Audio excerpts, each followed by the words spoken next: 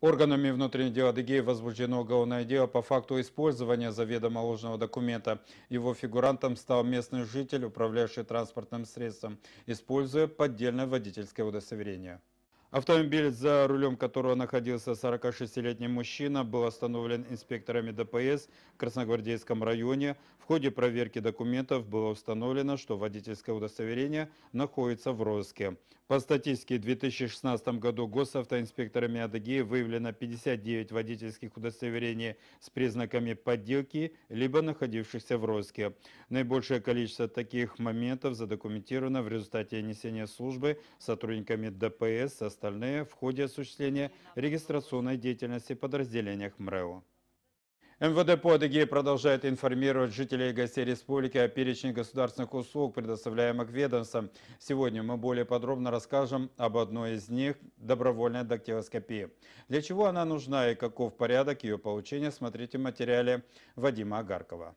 С самого рождения у каждого человека есть паспорт, данный ему природой. Это уникальный узор подушечек пальцев – эта индивидуальная особенность является уникальной и позволяет идентифицировать человека независимо от пола и возраста.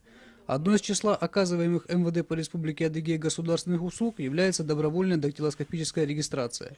Прохождение этой процедуры дает ряд преимуществ. Дактилоскопирование имеет особое значение для лиц пожилого возраста, которые страдают потерей памяти. Установление его личности как раз и помогло. Дактилоскопирование также может помочь при установлении личности человека, у которого документы пропали при несчастном случае. Данная услуга предоставляется абсолютно бесплатно. Все, что нужно гражданину для ее получения, это документ, удостоверяющий личность и заполнение соответствующего заявления. В последующем карта дактилоскопической регистрации поступает в информационный центр МВД по Республике Адыгея. Далее сотрудники вносят их в специализированную базу данных. Завершается процесс после направления дактокарт в общероссийскую базу МВД России. Также необходимо отметить, что гражданин, прошедший процедуру добровольной дактилоскопической регистрации, в любое время может обратиться в органы внутренних дел для того, чтобы внести изменения в свои установочные данные или заявлением об изъятии информации о нем из базы данных. Вадим Агарков, Вячеслав Коробков, программа «Вести», дежурная часть.